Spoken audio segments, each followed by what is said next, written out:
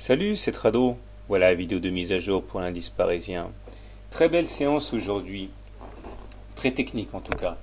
On a une, euh, une, belle attaque, hein, puisqu'on est venu euh, tester les 3245, qu'on n'a pas tenu, euh, comme on ne les a pas tenus hier. On a régressé et sur les rumeurs de dégradation fondées du triple A français, on a euh, transpercé la M7 et on est venu solliciter l'oblique marron que j'avais tracé hier. Et je vous avais dit que l'analyse technique dit qu'en cas de divergence euh, baissière comme ça, c'était dans les tuyaux d'aller tester la M7 et bon, encore une fois, l'analyse technique euh, s'est révélée bien utile.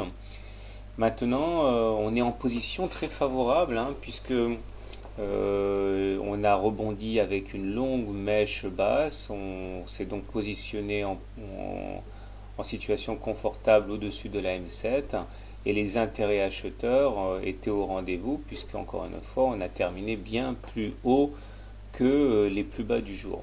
Les divergences baissières existent toujours hein, sur le MACD, sur le stock et sur le momentum puisqu'on n'a toujours pas fait de plus haut sur les indicateurs alors qu'on les a fait sur les cours. Mais euh, encore une fois, il y a des velléités haussières. Et puisque nous sommes en dessous d'une M20 croissante, eh bien on est clairement en tendance haussière.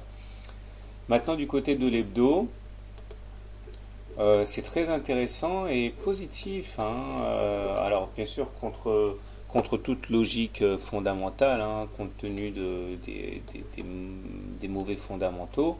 Mais c'est aussi, regardez, on a un croisement M7-M20 là, qui euh, va sans doute ramoter, si ce n'est déjà fait, des haussiers.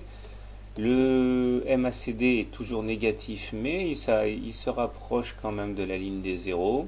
Le stochastique est au-dessus de son signal et le momentum est également euh, repassé positif in extremis aujourd'hui. Et là aussi, hein, on est soutenu, comme on a pu le voir cette semaine, par la moyenne mobile à 7 semaines sur laquelle on a rebondi. On a en deuxième rideau la moyenne mobile à 20 semaines qui est haussière. Donc pour faire simple, euh, malgré la sinistrose assez infondée au niveau technique, eh bien on est en tendance haussière en hebdo et on est en tendance haussière en journalier. Bonne soirée, bon trade et à demain.